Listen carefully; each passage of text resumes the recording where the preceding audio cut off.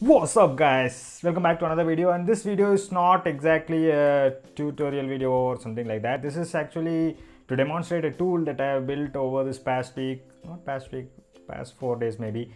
Uh, this tool was requested by N N Zurich Ball. In Zurich Ball. I'm sorry if I'm saying your name wrong anyway this tool was requested by a lot of guys uh, a lot of subscribers on this channel and hence i decided to do this today. So uh, let's just jump in guys. I think i've been talking too much. Now what this tool does is basically uh, it lets you upload an excel and uh, I, will show you. I'll show you how to use this and uh, uh, you'll also get a better idea of what's happening here. So first just clone this tool from my github repo which I have done here myself as well and then simply run an npm install to install the dependencies. Okay now that this has been installed just give cd functions and then install this as well. We are going to be using cloud functions in order to convert the excel sheet into uh, a json file guys. Using this library from steve tarver excel as json right this library is the one we are going to be using to convert the excel sheet that uh, we receive as input into a json file which will uh, then be uh, read by our program uh, i mean the code which we wrote for in angular and then uh, stored onto firebase not firebase cloud firestore. That's what we are trying to do here guys.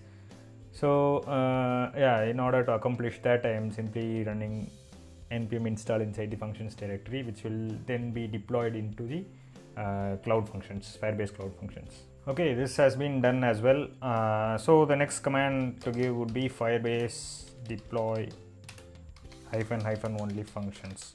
Now i'm not going to hit enter because i've already deployed this function onto my uh, cloud functions.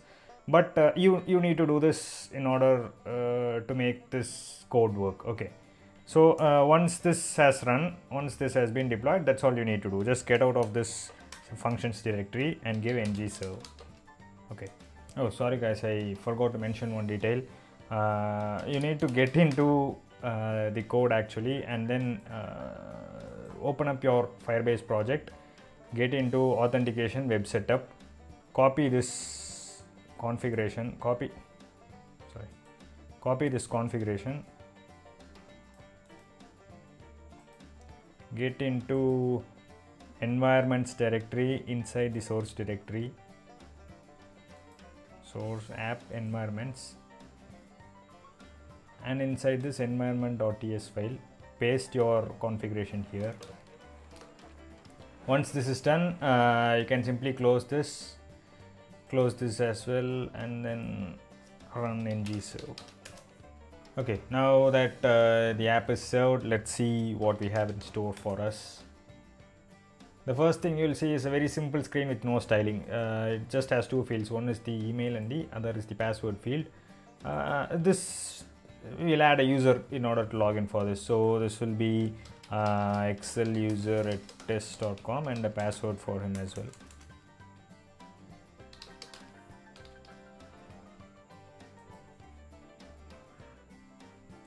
Okay now we'll use this excel user right? Excel user.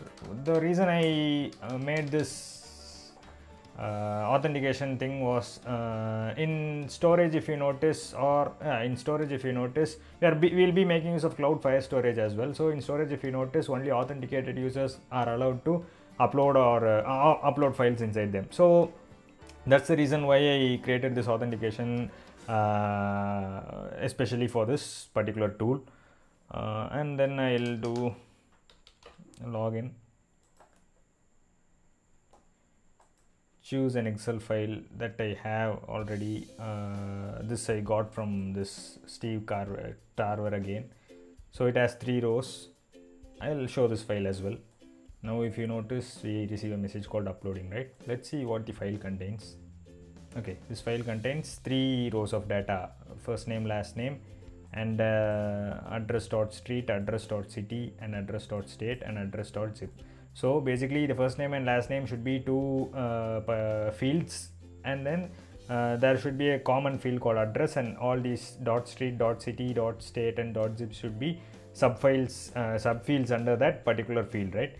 uh, like this wait i'll show you here i used the same example so this is the example and the json file would look like this so this is exactly how it should be stored in our firestore as well. Let's see what happens. We received a message called stored right?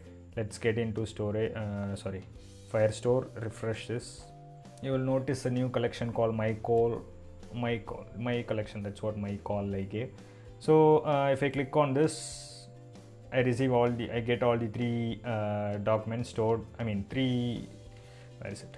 Three rows right so this row is document 0 this row is document 1 and this row is document 2 and uh, i get the same data as well as well as the uh, address as a object address as an object inside this particular object inside this particular do- document right?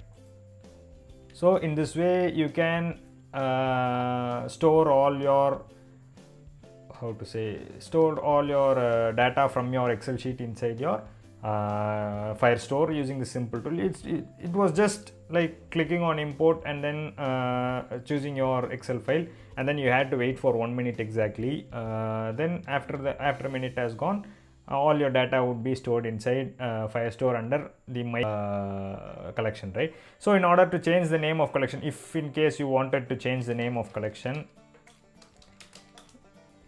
or how the documents were referenced just go here get into the services directory.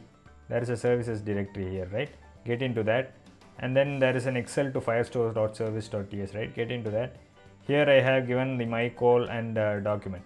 So if you uh, change this you will get the name of the collection that you want. And then if you simply run the code and then uh, give uh, import file choose the excel file uh, it will automatically uh, push the data from the excel file inside into your firestore the cloud firestore okay that's what i wanted to show you guys today. I hope this tool is useful to you guys. A lot of people were asking me for this especially for how to move data from excel file inside uh, excel file to a firestore or from a csv file to a firestore. I thought maybe i could share this with you today. Uh, this is very simple guys. You just need to install angular cli that's all.